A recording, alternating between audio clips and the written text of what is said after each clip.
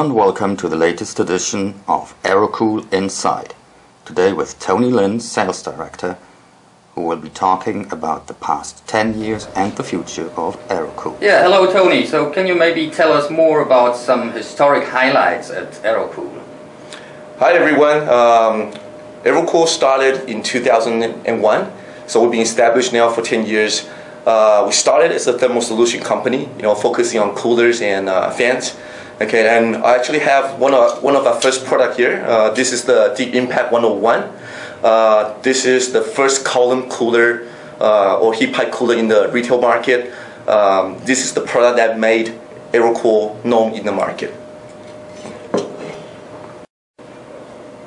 So what was the next step in the development of products?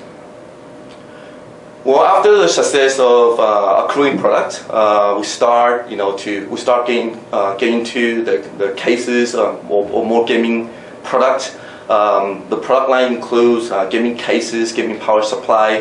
Uh, we still continue with cooling products.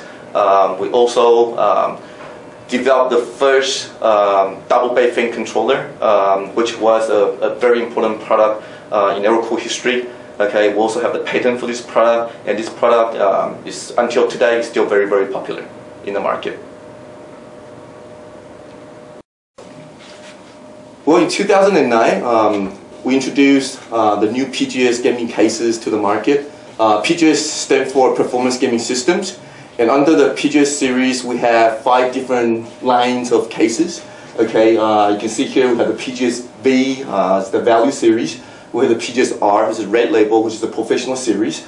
PGS S, the silver label, and that's the aluminum series. And PGS B, which is the black label, and this is our ultimate gaming series. And the last series we have here is the PGS Q, which is the blue label, and this is the small form factor series. Okay, and what you can see here is uh, one of our latest case, uh, X-Predator case.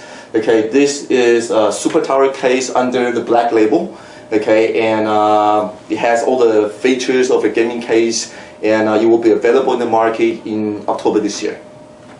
Oh, in Computex this year, um, Aerocool has released the new Strike series. Okay, you see the big Strike logo here. Okay, um, the Strike series, you know, is, is consists of full line of gaming products, uh, including cases from Super Tower to Open Case and Mid Tower.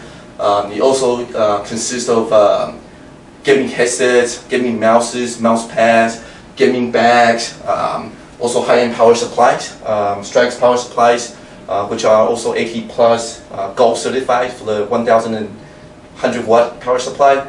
Okay, and um, in the future, we'll continue to develop more uh, gaming product un under this new series of uh, products. Yeah, Aerocool is a, is a company that you know wants to get more interaction with users. Uh, we want to listen to the gamers, the enthusiasts, you know, uh, to see what they want um, in terms of products, you know, get ideas from them. So starting uh, October this year, you know, we have set up our um, Facebook um, website and also YouTube. Um, in terms of Facebook, you know, we're going to run campaigns, we're going to run price draws, um, we're to run, run different activities, you know, to to have more fun and more interaction with uh, the gamers and the people that, that like uh. Um, you know, the, the goal is to have more uh, interaction uh, with them and um, to, you know, you know, to, to create a bigger base of um, uh, um, followers.